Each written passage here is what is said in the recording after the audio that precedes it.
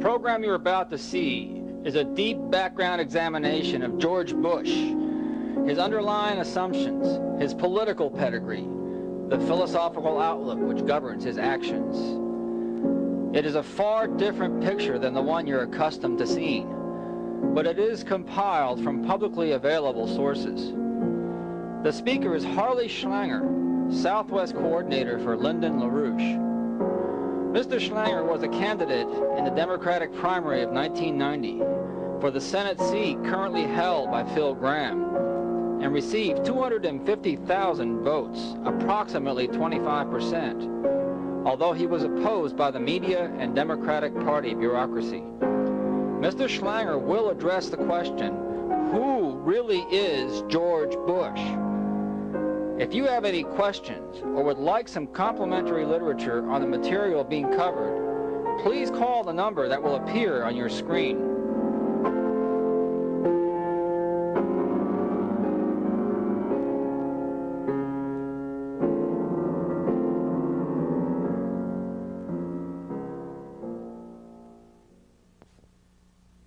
At this moment, George Bush is riding high sitting tall in the saddle, doing his best imitation of John Wayne.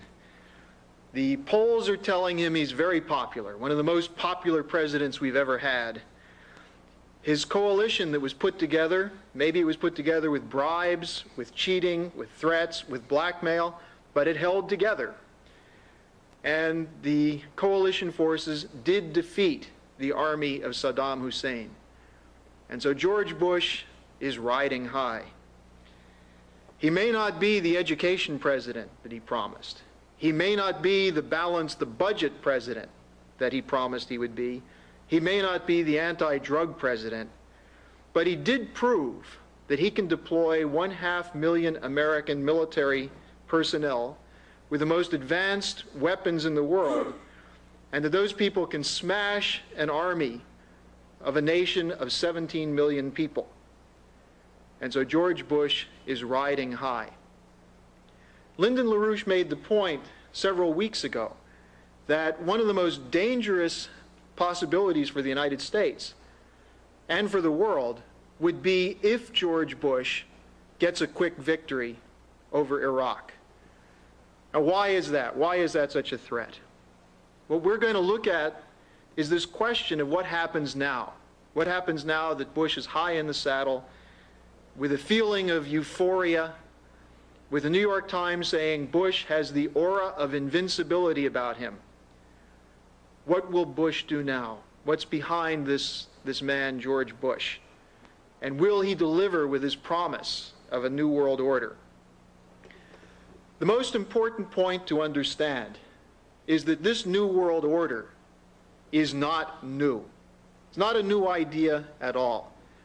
In fact, it's modeled precisely on the empire established under Rome and rebuilt by the British with their naval power in the 17th and 18th century. And that today, Bush, using his vaunted air power, is intending to replicate with his sidekicks, in fact, with his bosses, the British, this Roman Empire reincarnated as the British Empire, reincarnated today as a new Anglo American empire. And from the start, let there be no mistake, this was not a concoction of George Bush. But step by step, he was led by Maggie Thatcher and by one of the key British elements who's been undermining the morality of this country for years, and that is Henry A. Kissinger. And that is the real story behind the so-called New World Empire. It's a repeat of classic colonial policy. Now, what do I mean when I say colonial policy? There are a lot of people who say, well, imperialism, isn't that a communist term or a sociological term? Are you saying that Bush is a new imperialist? And if so, what does that mean? Well, the essence of colonial policy is the idea that a nation with a strong military is able to impose its will on all other nations. And that will in particular is an economic will. That is, that the colonial power, Rome at the beginning of our modern era, Britain in the 17th, 18th, and 19th century, that that colonial power demands loot from the colonies, in particular, cheap raw materials. Today it's oil. In the past, it's been other commodities. But secondly, cheap labor. That is, that if you look at the essence of the American economy today, what do you see?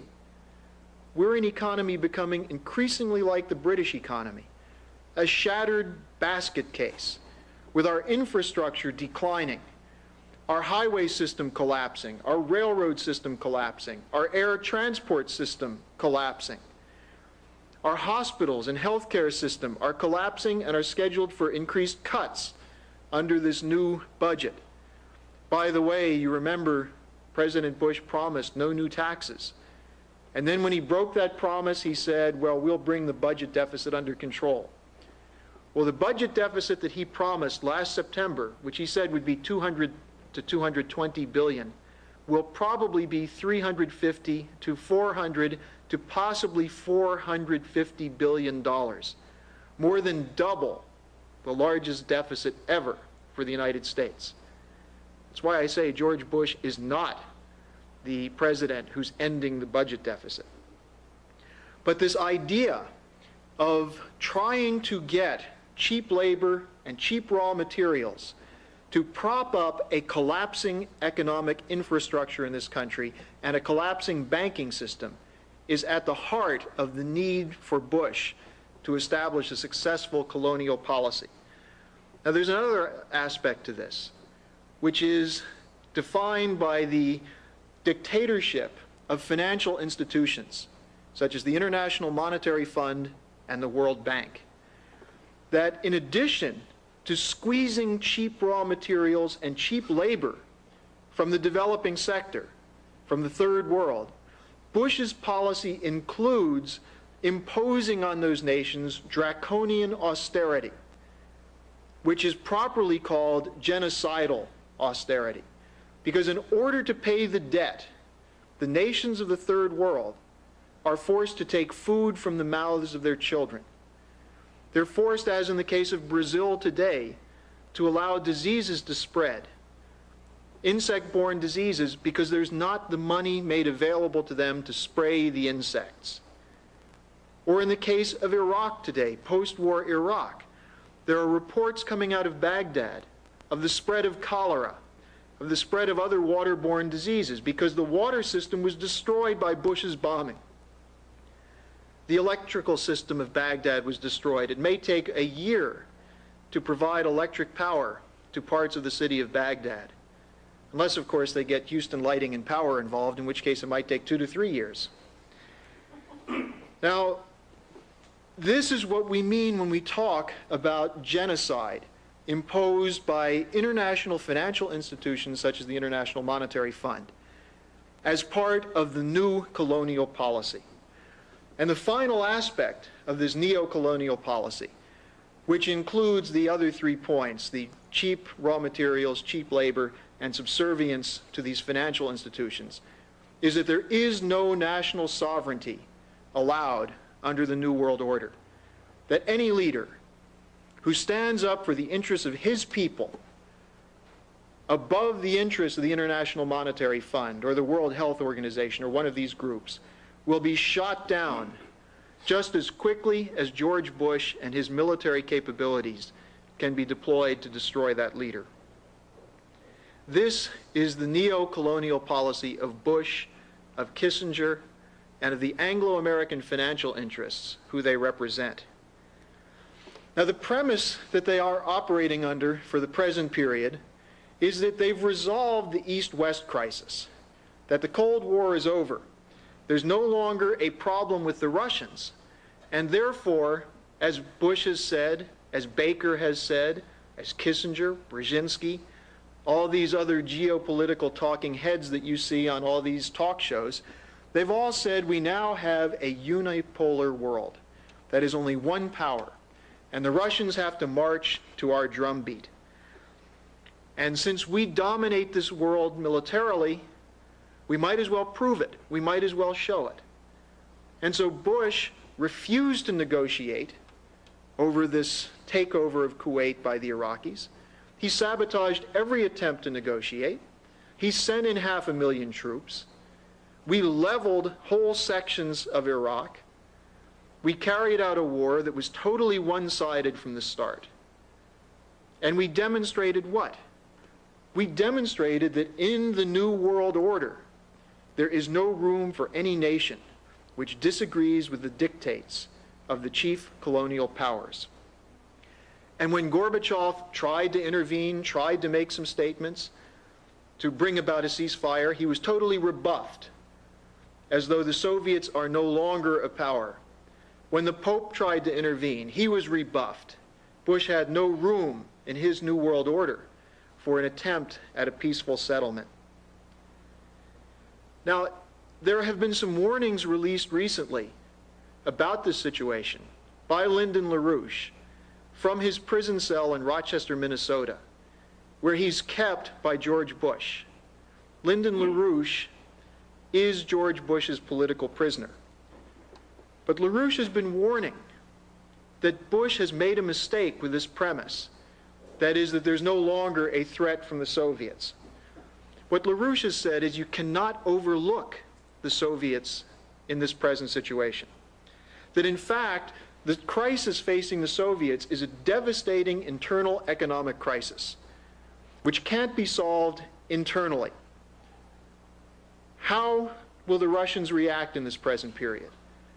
They've asked for credits, they've asked for help.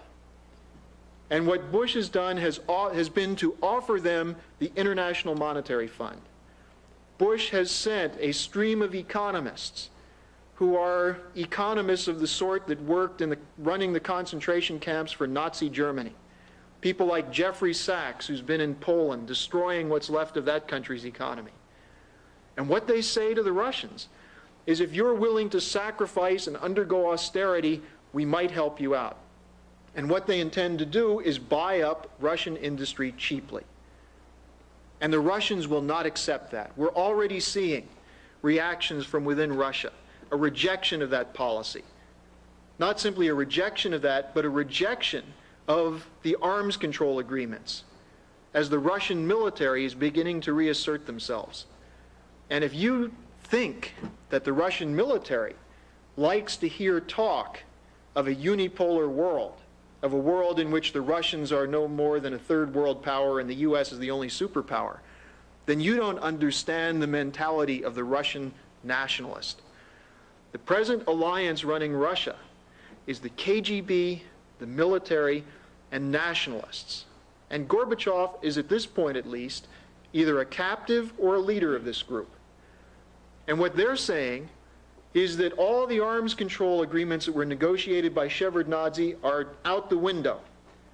They're saying, look at the Gulf. What does this tell you? That we Russians must not give up our offensive military posture. And so within Russia, there's a rumbling of this old Cold War bear threatening its own people in the republics, such as the Baltic republics, Azerbaijan, and elsewhere threatening the newly liberated states of Europe. There are still 50,000 Russian troops in Poland, and they're not leaving. There are over 350,000 troops in eastern Germany, and they're not leaving. And so LaRouche said that because of this economic crisis, and because of Bush's newfound macho, that Bush thinks he's put the wimp image to rest over the corpses in Iraq, that because of that, the Russians are getting more desperate and more angry. And this danger, there's a new danger of war that stems from this. It's not simply a neo Cold War or Cold War II, as William Safire called it, but it's a possibility at some point in the next year or two that the Soviets will reassert themselves. And one of LaRouche's warnings is to watch what's going on in the Korean Peninsula where the, the military of North Korea, which is a Soviet puppet state, has been on a full scale alert in recent days. So, because of this economic crisis, you have a renewed war danger. It's also the case, as can be proven very easily, that this neo colonial policy will not solve the U.S. economic crisis.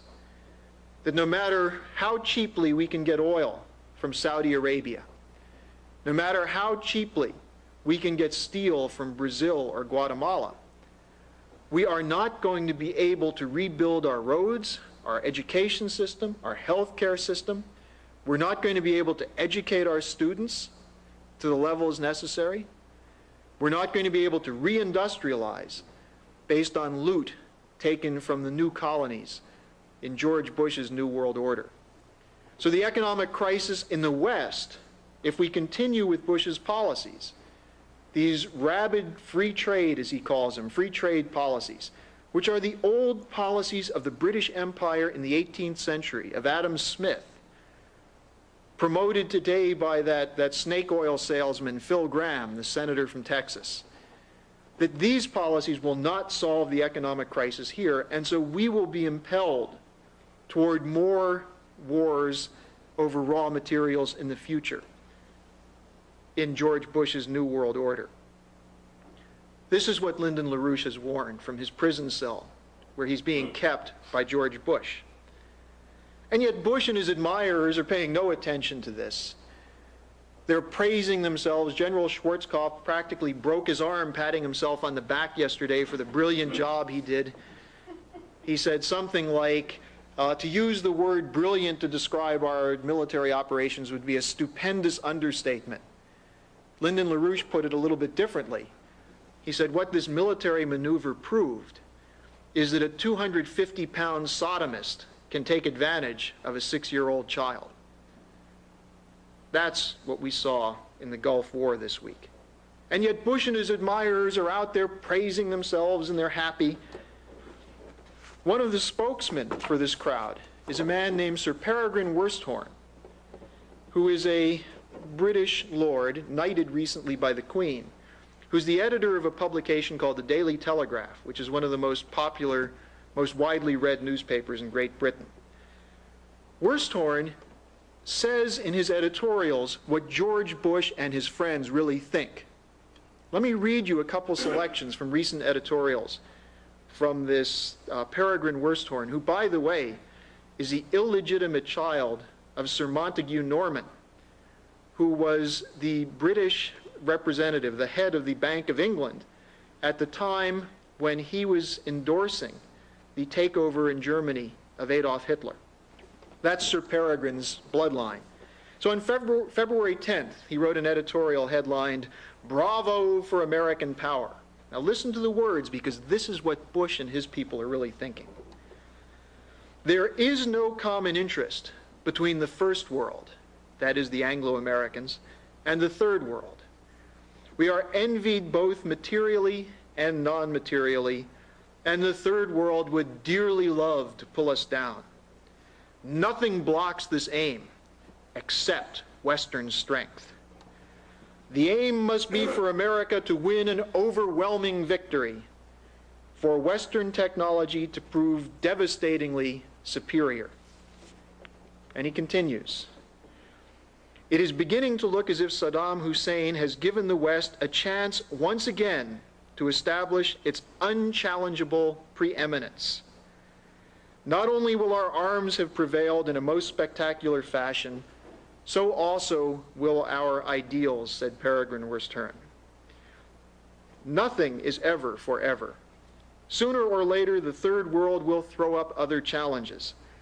But if the Gulf War ends as it has begun, there can be no doubt who are the masters now, at any rate, for another generation. We have the laser beams, and they have not. And the we who matter are not the Germans or the Japanese or the Russians, but the Americans and the British. Happy days are here again. Unquote from Sir Peregrine Worsthorne, the editor of the Daily Telegraph, the Queen's favorite paper, speaking on behalf of George Bush's New World Order. Now, here's another editorial from a week later, same publication, Uh, this one's titled Rely on Fear, Not Love. And for those people who are Arabs, listen particularly to the hostility and the bellicosity aimed by this editorial. The only thing the Arabs, and especially Saddam Hussein, understand is force. Therefore, it will take force to curb the ambitions of Arab nationalism and fundamentalism in general. Nobody should underestimate the pressure that will be placed on America and Britain after the war not to exploit their rights of conquest. In the Middle East, however, Western imperialism is exactly what is needed as never before. Continuing this editorial of February 16th, it says, the Anglo-Americans have gone back to the brave new post-imperial age. The Gulf's oil reserves remain one of the world's great strategic prizes. Someone is going to lay hands upon them before the century is out. The Soviet Union, Germany, Japan, or a new Saddam Hussein. Why, now that we are in position to do so, should the U.S. and Britain not reassert the strategic control over them that we once possessed? If this involves the occupation of Baghdad and the dismemberment of that country, we should not shrink from the task. We would have the right to do so, as we had the right 70 years ago to dismember the Ottoman Empire, the right of conquest. Might makes right. That is the editorial of the Sunday Telegraph expressing the point of view of the British oligarchy and the American establishment figures who have allied themselves with them in this New World Order. That is the point of view of George Bush. And that's why it is absolutely accurate to say that this New World Order is a repeat of the old Br uh, British colonial order. Now, to see George Bush arm in arm with these kind of raving British colonialists is a kind of thing that would have George Washington spinning in his grave. In this sense, it's completely accurate to say that George Bush has taken on the role of George III, who was the enemy of the American Revolution. That is George III, who fought to keep the American colonies under British control.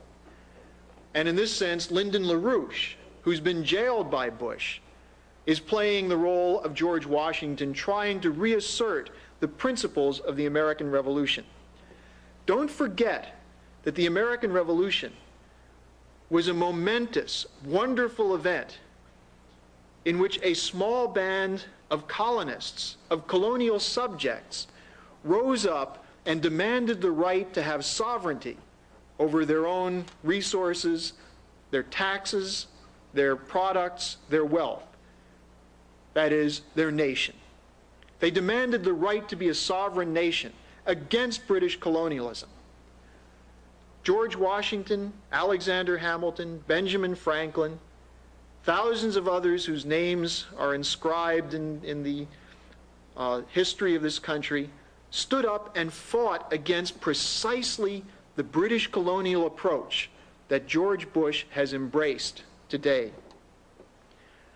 Well, how is it then that a nation which was founded in an anti-colonial struggle would today become the enforcer of this colonialism? How is it that we Americans, we American patriots, we American nationalists, who should have as our ideal the founding fathers of the American system, are instead cheering a president who's taken on all the attributes of the pathetic British monarch George III, who we fought against to establish this country. How could that have happened? And how could we Americans be so foolish as to spend our time in front of television waving American flags, praising this man who's spitting on our national legacy? Well, I'm going to say something that's very controversial. It's going to get me in trouble with certain people. But I think they need to think about this.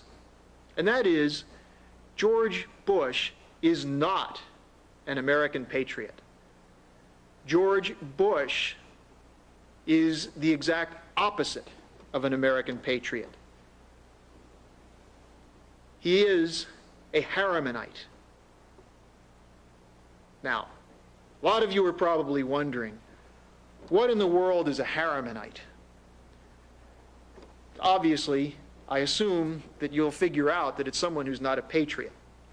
But let's take a look at this phenomena, because if you want to understand how we have reversed our historic role as being a beacon of hope to the world, to anti colonial struggles everywhere, to the point of today being an oppressor, you have to understand how this faction, which is the Anglo American faction, has usurped the institutions of this country to the point that we have an almost unbroken string of Harrimanites, of British oligarchs, since the assassination of President Kennedy.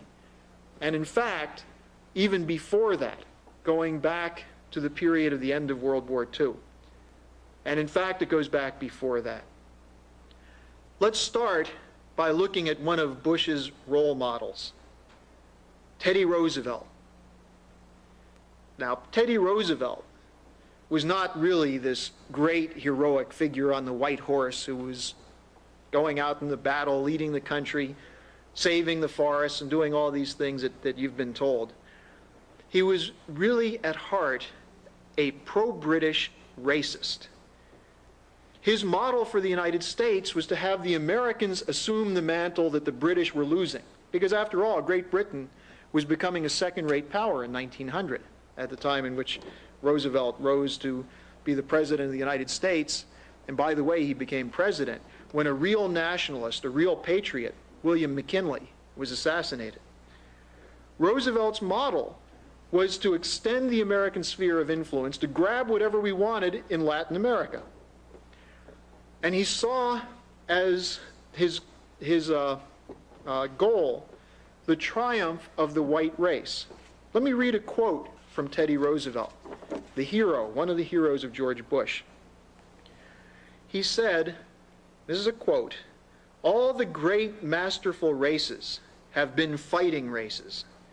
And the minute that a race loses the hard fighting virtues, then no matter what else it may retain, no matter how skilled in commerce or finance, in science or art, it has lost its proud right to stand as the equal of the best. When he's talking about the fighting race, he's talking about white Anglo Saxons. He was a leader in the fight to restrict immigration to this country.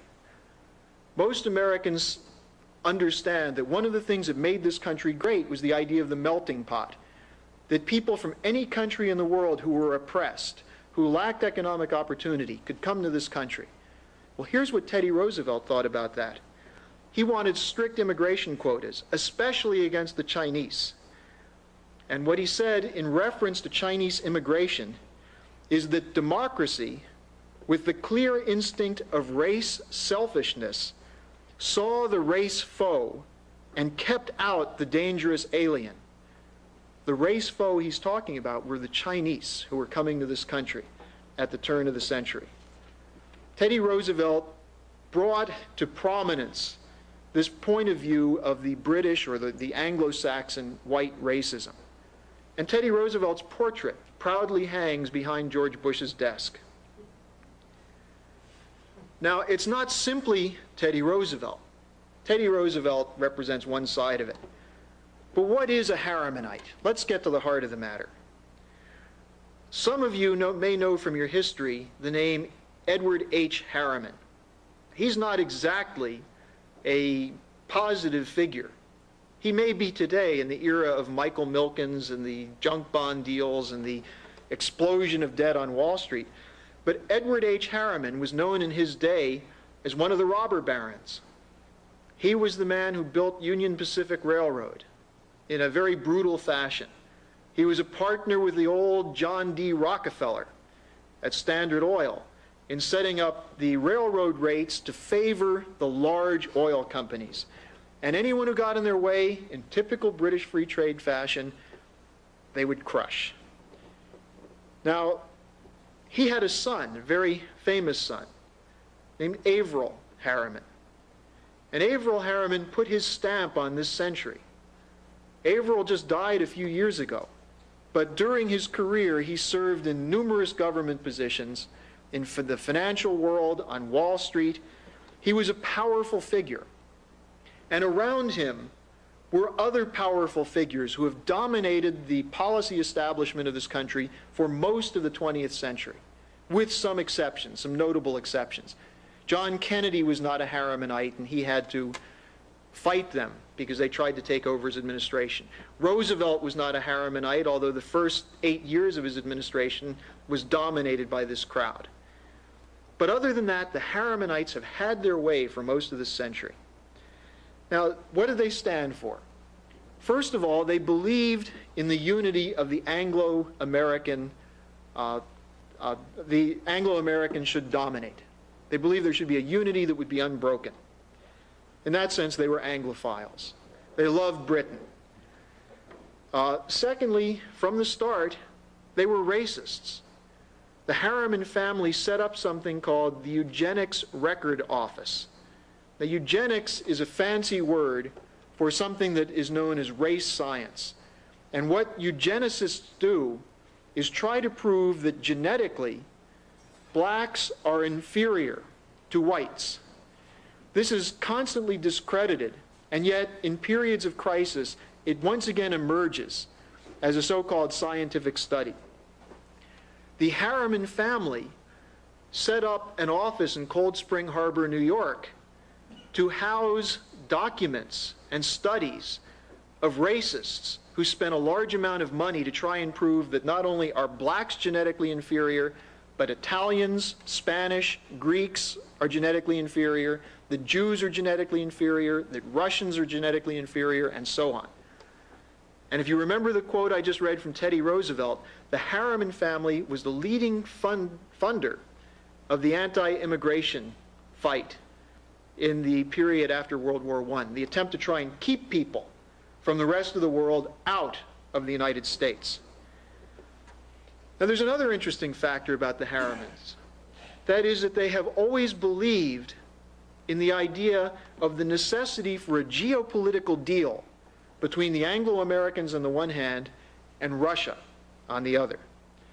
And this is extremely important because this crowd, this Harriman crowd, single handedly saved Lenin's Bolshevik regime in 1920 and 21 when the Bolsheviks were in danger of losing a civil war and when they were in danger of having starvation wipe out their gains in the revolution.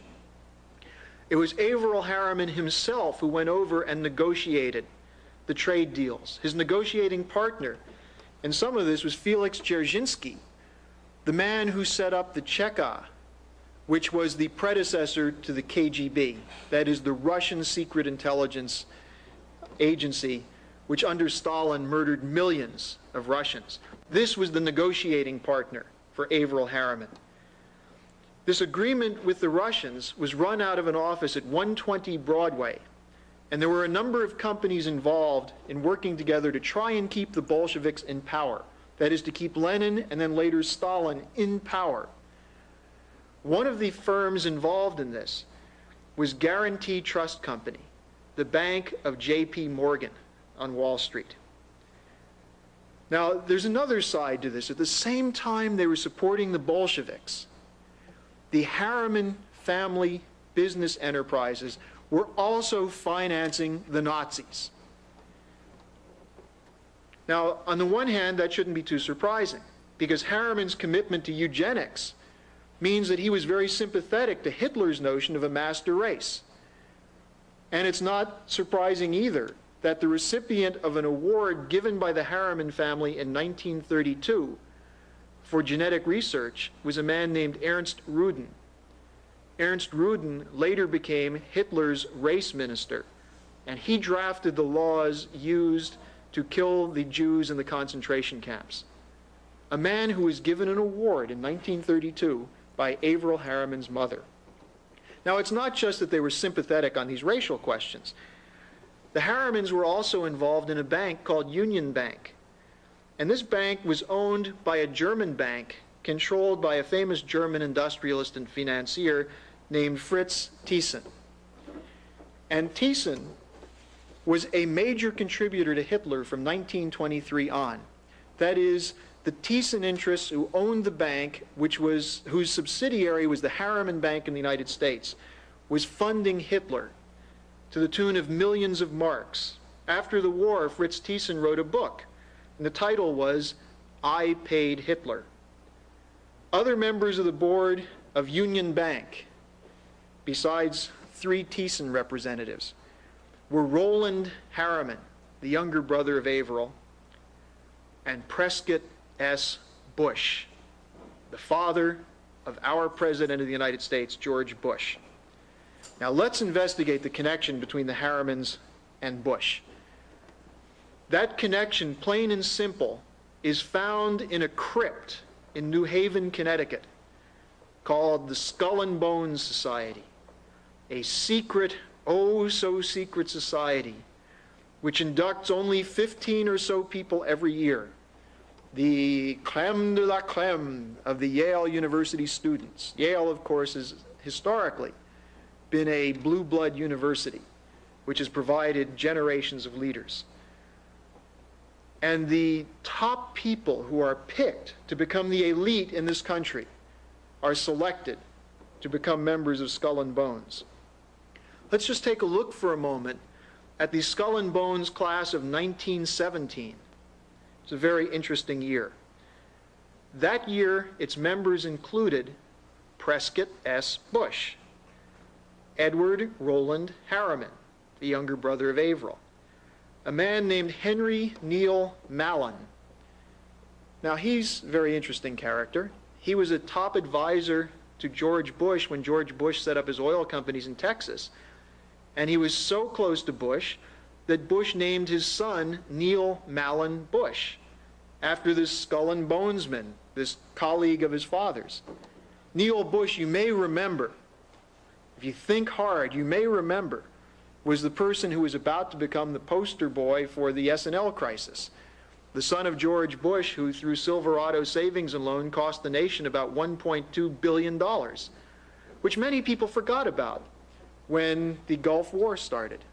But Neil Bush, Neil Mallon Bush, was named for this partner uh, of the Harrimans, a skull and bones class of 17 member. Then there's another one named Knight Woolley. This is an interesting character. He was on the board of Guarantee Bank, which was the Morgan Bank, when they were financing the Bolsheviks in the early 20s. He later became a director of the Federal Reserve Board. All of these four people, Prescott Bush, Roland Harriman, Henry Neil Mallon, and Knight Woolley, became directors of a company called W.A. Harriman, which was an investment bank in New York City, which later became Brown Brothers Harriman, very famous investment, private investment bank. It was through these networks that the Harriman crowd, with Averell, the senior partner, Roland, Prescott Bush, and others, controlling finance in this country through Guarantee Bank, which later became Morgan Guaranty, controlling an aspect of national policy through the Federal Reserve and so on. They also controlled raw materials through various relations through cartels. And their policy was to build up a global financial and political empire.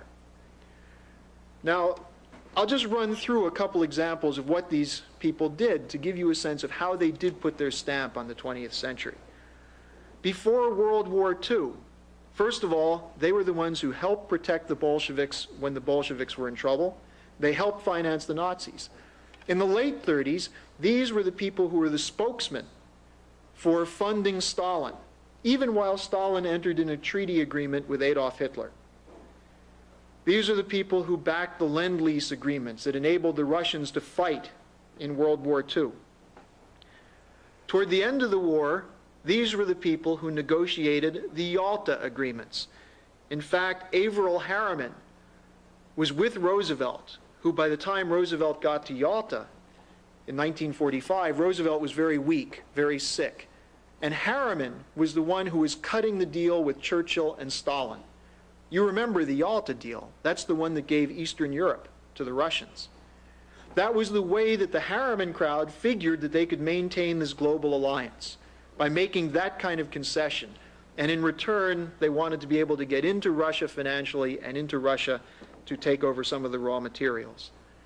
Now, after the war, these people had brought in a few others and became a larger group, which was basically recently called in a book the wise men. These are the people who dominated post war U.S. policy.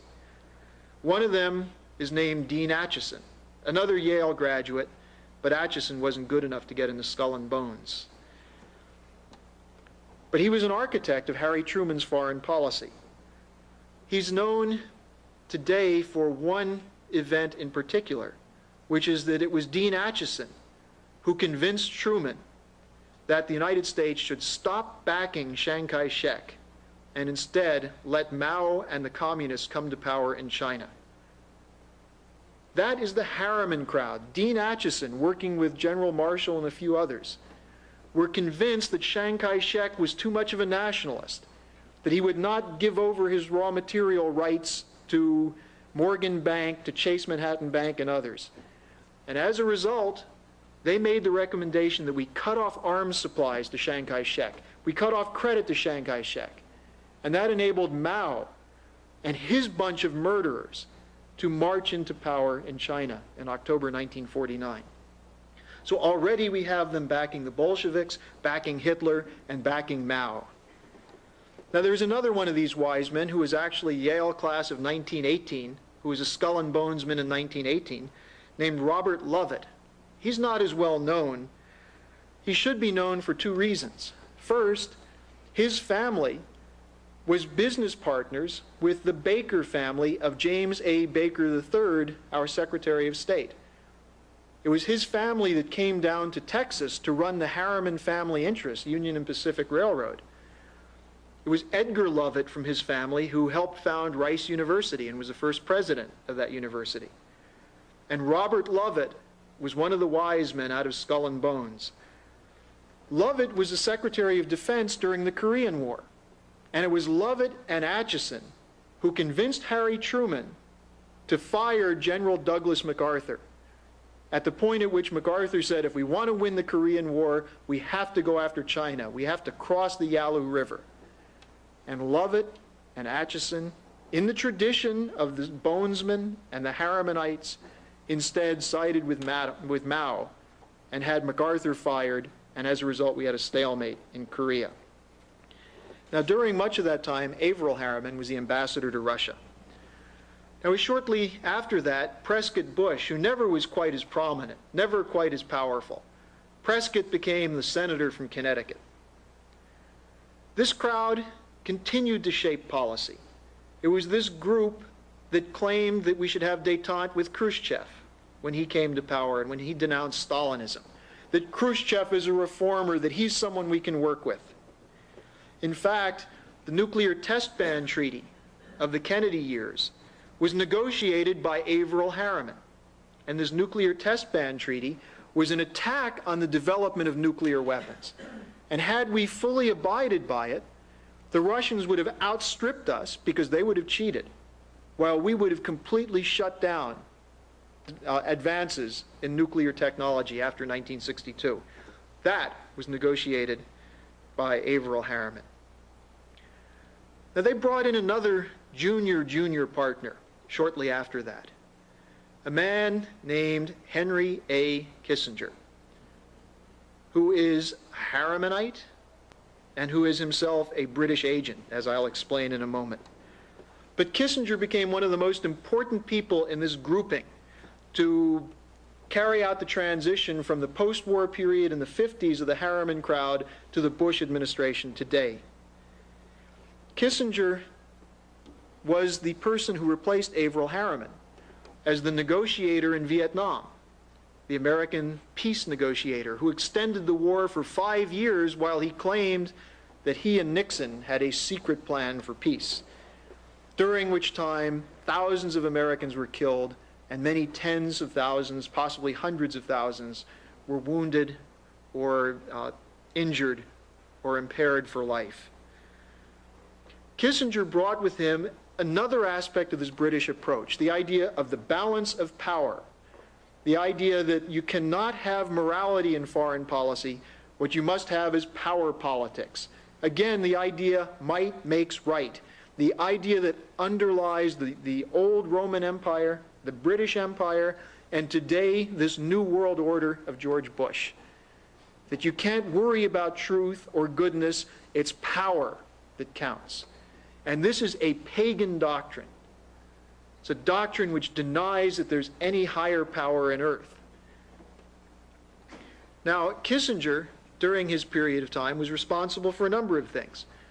Remember, he was the person who negotiated originally the SALT agreement and the, nego- the test bans, or the, the arms control agreements, rather, with Brezhnev. He was also the man who opened ties with Mao during the Nixon administration. Another central aspect of Kissinger's policy was no development for the third world, that third world countries must kneel to the International Monetary Fund. Kissinger's belief, which he stated, was that nothing important ever happened in the South, that is, the Southern Hemisphere, and he attempted to make sure that it never did. In 1982, Kissinger gave a speech at Chatham House, which is the headquarters of British intelligence, and he admitted to being a British agent. He said he worked from British Foreign Office papers the whole time he was Secretary of State. He said, and I quote from Kissinger's speech, I kept the British Foreign Office better informed than I did the American State Department. That's what Kissinger said personally about his treachery. It shouldn't be surprising to find that Kissinger was a vehement opponent of the world outlook of Lyndon LaRouche who is attempting to put forward a, an idea for reorganization of the monetary system, for global development in the tradition of the American system. All the while, Kissinger instead was attempting to crush the developing sector and attempting to cut a deal with Moscow in the tradition of the Harrimanites. It was Kissinger, later working through Bush, who backed Gorbachev and who said Gorbachev is the great reformer, he's the great hope for the future. It was Kissinger who sent his associates, Scowcroft and Eagleburger, to China to propitiate the butchers of Tiananmen Square, Deng Xiaoping. In the same way Acheson backed Mao, Kissinger backed Mao, and then his crowd backed Deng Xiaoping and their killers. It was the Kissinger crowd who ran the Iran Contra affair through Kissinger's former deputy, Robert McFarlane. It was Kissinger who said, God may not forgive me for this, but I like Hafez al Assad. And it was Kissinger who said the U.S. should have an alliance with Syria. And it was Kissinger's fat sidekick, Lawrence Eagleburger, the number two man at the State Department, who went to Syria to cut the deal which brought Syria in on this coalition. And it's Kissinger who still dominates the Bush administration, along with George himself through his other sidekick, Brent Scowcroft, Eagleburger, and others. And it's this crowd that's drafting the New World Order, and Bush is functioning as in his role as continuing the Harrimanite approach. This time with the belief that because the Russians can no longer carry out opposition, that now the Anglo American world order can be imposed. And Kissinger had some comments on this the other day on the question of the balance of power. And it's worth listening to these words to see why it is that they fear LaRouche and why it is they fear the idea of morality in politics. Kissinger said that the deepest challenge to America, this was in an editorial on February 23rd in the Houston Chronicle, the deepest challenge to America will be philosophical how to define order in the New World Order. History so far has shown us only two roads to international stability domination or equilibrium. We have neither the resources for domination nor is such a course compatible with our values. So we are brought back to a concept maligned in much of America's intellectual history the balance of power. Kissinger's personal favorite view, which he borrowed or stole from the British. He said, and I continue, there is no escaping the irony that our triumph in the Cold War has projected us into a world where we must operate by maxims that historically have made Americans uncomfortable. To many Americans, the most objectionable feature of the balance of power is its apparent moral neutrality. Well, he's lying there. What he should have said is that it's based on an absence of morals. And he goes on to say that the United States must be the guarantor of a balance of power. And he explains what he means. He means a world in which Syria, Iran, and Iraq are pitted against each other in the Middle East, with none of them strong enough to shape the, the political geometry, but being just strong enough to fight each other. In Asia, he says we must have Russia, China, and Japan pitted against each other. And of course, Kissinger has special hatred for Germany. And it's his hope that the Anglo American financial power through the City of London can prevent Germany from industrializing Eastern Europe, which is the proposal that was drafted by Lyndon LaRouche long before the Berlin Wall fell. And this is the outlook of Bush today, this balance of power. This is the outlook of the New World Order. It is a new British Empire. Bush thinks it's an improved version. But it's also a new Roman Empire. It's a monstrosity based on loot, based on murder, as were the Roman and British empires. It's based on a pagan rejection of morality, and instead the substitution of the idea that might makes right. This is a philosophy that was abhorrent to our founding fathers. They were willing to give up their lives, their fortunes, to fight against that conception. And yet, many of those today who are cheering Bush see themselves as, as people continuing this tradition, the, the true American tradition. I think that they owe it to past generations. They owe it to their families, many of whom were immigrant families, to investigate what I've explained in the course of this presentation. That they owe it to their children and to the posterity, the hopeful future of this country, to discover how it is that Bush represents an alien presence. Alien in the sense that it's a rejection of all that this country has stood for positively. That Bush is a traitor against what this country was created to represent. The New World Order must not be allowed to come into existence. It's a New World Order that's been responsible, or the, the ideas behind this New World Order have been responsible for the most heinous crimes committed against mankind.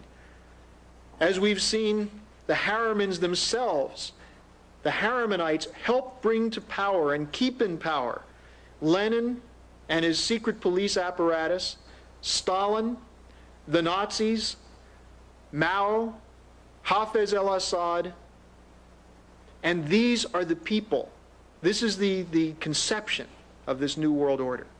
And that if we're powerful enough, we can make it work. And it's implemented over the bodies of children throughout the developing sector who are only asking for the same birthright that we in America have taken for granted. That is the great tragedy of George Bush, and even more so, the tragedy of the popularity of George Bush. Lyndon LaRouche once said that Bush has a popularity which is a mile wide but a micron deep. We've seen that before. Last summer, his support fell below the 50% mark for a while. Even today, while 85% of the American people are cheering the military victory over Saddam Hussein, only 42%, according to a poll that came out today, support his domestic policies. And it's probably only that high because people have not been investigating what they are. So at this point, we're at a critical moment in American history. Either our country will become an enforcer of a genocidal world order modeled on the British system which has contempt for those in the developing sector, which has already decided that they will not develop that they will become breeding grounds of disease and famine and graveyards for the hopes and dreams of the children that live there. Or else the United States can again become the kind of nation that our founding fathers were committed to, the kind of nation represented by the policies of Lyndon LaRouche, the kind of nation that will not tolerate a George Bush or a Henry Kissinger. And I'll leave you with this thought. When Ronald Reagan ran for president in 1976 and again in 1980, he said, Never again will we allow a Henry Kissinger to control foreign policy. And yet, what we've had since 1983 has been the new return of the Harrimanites in the person of Kissinger and in the person of Bush. This is a disgrace, and as Americans, we should not and cannot tolerate it. Thank you.